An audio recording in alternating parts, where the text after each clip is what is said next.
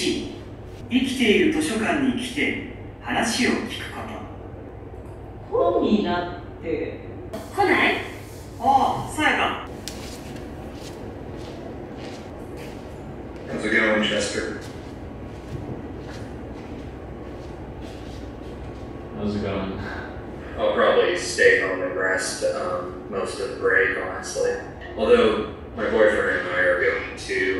a squirrel park. It's called Risu Koen, which is Squirrel Park. I see. The squirrel park is the name you gave it. It's not the official name. no, it is the official name, Risu Koen. Oh, Risu is means squirrel.